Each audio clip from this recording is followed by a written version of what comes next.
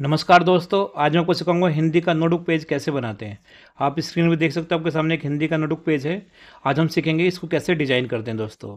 तो इसके लिए क्या करना है, आपको एक नया डॉक्यूमेंट लेना है, कीबोर्ड से कंट्रोल एन बटन दबाएँगे। तो देखिए, हमारे सामने एक नया डॉक्यूमेंट आ जाएगा दोस्तों। फिर क्या करना है, ये जो मार्जिन है, हमें मार्जिन ज़ीरो करना पड़ेगा। तो इसके लिए क्या करना है, पेज लाउट टैब में जाना है। और यहाँ पर देखो, मार्जिन का फीचर मिलेगा आपको। तो यहाँ पर क्लिक करेंगे और आपको सबसे नीचे आना है। यहाँ पर क्लिक करोगे कस्टम मार्जिन पे। उसके बाद यहाँ पे देखिए मार्जिन जो है टॉप बॉटम लेफ़्ट राइट कितना है? एक एक इंच का मार्जिन है। हमें इसको ज़ीरो करना है। तो ज़ीरो कैसे करोगे? कीबोर्ड से आप ज़ीरो बटन दबा दीजिए। देखिए, यहाँ पे क्लिक करिए और बैक स्पेस का बटन दबाइए और यहाँ पे ज़ीरो यहाँ भी ज़ीरो करना आपको दोस्तों। चारों तरफ़ से मार्जिन जो है हमारा ज़ीरो करना है यहाँ पे। तो यहाँ पे क्लिक करोगे और यहाँ से आपको बस ज़ीरो करना है। और ज़ीरो करने के बाद यहाँ पे बस ओके करना है। तो देखिए आपका मार्जिन बिल्कुल ज़ीरो हो जाएगा। मार्जिन ज़ीरो होने से क्या होता है? अब मैं जो भी टाइप कर रहा हूँ, देखो बिल्कुल ऊपर से टाइप हो रहा है। इसी को बोलते हैं मार्जिन ज़ीरो करना।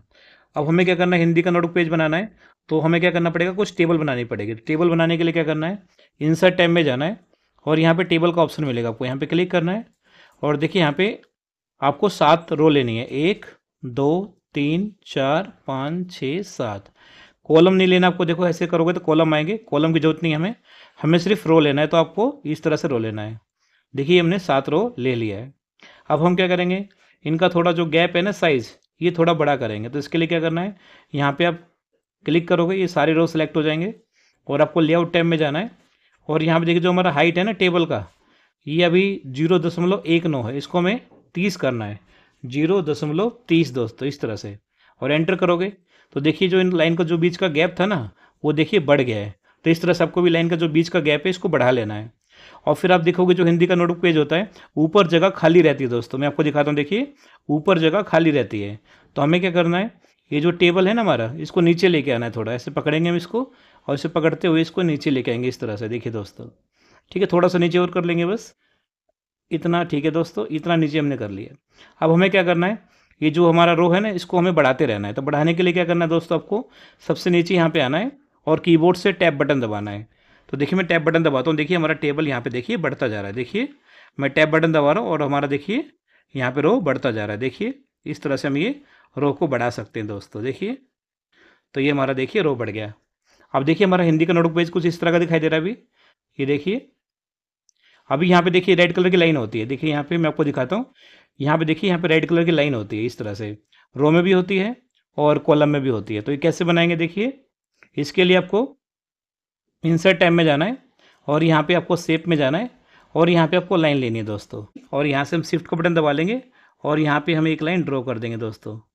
इस तरह से एक लाइन हम ड्रॉ कर देंगे इस तरह से। ठीक है दोस्तों? इसको हम थोड़ा एडजस्ट कर लेंगे और इसका जो कलर है ना लाइन का, वो कर देंगे रेड तो रेड करने के लिए यहाँ पे देखिए ऑप्शन है सेप आउटलाइन पे जाना है। और यहाँ पे इसका कलर आपको रेड कर देना है इस तरह से। और फिर लाइन की जो मोटाई है, वो आपको चेंज करना तो यहाँ पे जाके लाइन की मोटाई भी आप चेंज कर सकते हो। देखिए, हम थोड़ा सा इसको बढ़ा देते हैं। अब देखिए, देखने में ठीक लग रहा है। क्योंकि जो लाइन होती है, वो सिंगल नहीं, डबल होती है। तो यहाँ पर क्लिक करेंगे दोस्तों हम, और कीबोर्ड से कंट्रोल का बटन दबाएँगे, और इसकी देखिए लाइन डबल डबल कर देंगे इस तरह से हम। क्योंकि आपने देखा होगा, इसी तरह की लाइन होती है। अब ऐसी लाइन हमें वर्टिकल में भी चाहिए दोस्तों।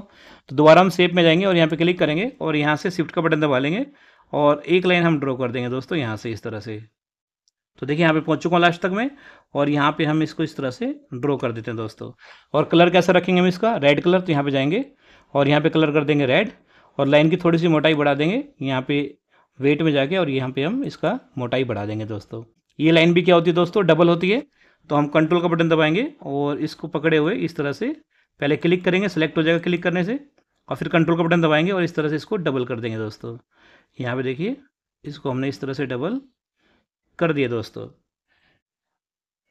अब ठीक है दोस्तों तो देखिए हमारा इस तरह का डिज़ाइन तैयार हो चुका है दोस्तों। अब यहाँ पे देखोगे दोस्तों, जो हिंदी का नोट पेज होता है, यहाँ पे देखोगे डेट और टाइम लिखा रहता है दोस्तों, बॉक्स के अंदर। तो वो कैसे बनाएँगे? इंसर्ट टाइम में जाना है और यहाँ सेप में जाना है और यहाँ पे मिलेगा आपको राउंडेड रेक्टेंगल तो यहाँ पे क्लिक करेंगे और यहाँ से ड्रॉ कर लेंगे दोस्तों हम इस तरह से।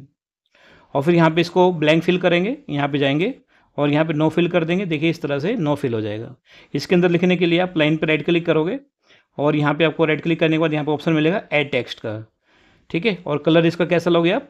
होम टाइम में जाना, यहाँ पे कलर जो है इसका लेना रेड अलाइनमेंट जो है हमारा, वो कर देंगे लेफ़्ट और यहाँ पे हम लिखेंगे, पहले लिखेंगे डेट इस तरह से। फिर एंटर बटन दबाएँगे और यहाँ पे लिखेंगे पेज नंबर और फिर क्या करना है दोस्तों, इनके बीच का गैप थोड़ा ज़्यादा है तो इसको कम कैसे करेंगे?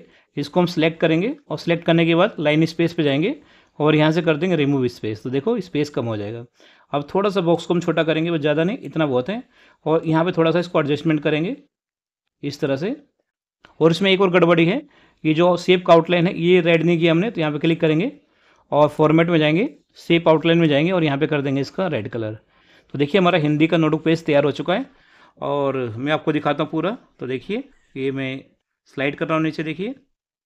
ये देखिए हमारा तैयार हो चुका है। अब मैं इसका प्रिंट प्रीव्यू दिखाता हूँ। प्रिंट प्रीव्यू देखने के लिए क्या करना है? कीबोर्ड से आपको कंट्रोल के साथ एफ़ टू बटन दबाना है। तो देखिए दोस्तों, इसका प्रिव्यू आ जाएगा। तो हिंदी का नोटबुक पेज देखिए, देखने में कुछ इस तरह का आपको दिखाई देगा।